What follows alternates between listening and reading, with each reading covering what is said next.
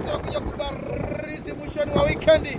Hatari sana eh, baba mnyama eh, baba mnyama Fikoshi, baba mnyama Fikoshi, huyu ndio anayeingia sasa mjini kutoka mjini kwa Msoma. Watu wanakuja kura Sangara Sato. Hatari sana kutoka mitako ya kina Mura.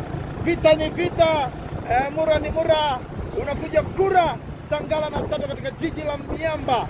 Hatari wewe, ya jijini Mwanza.